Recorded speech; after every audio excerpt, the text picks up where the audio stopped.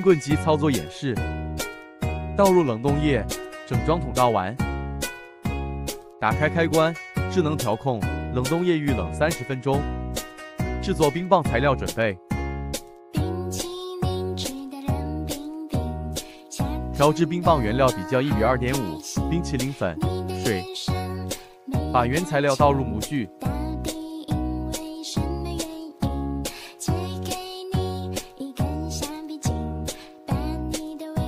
放入冰棒模具，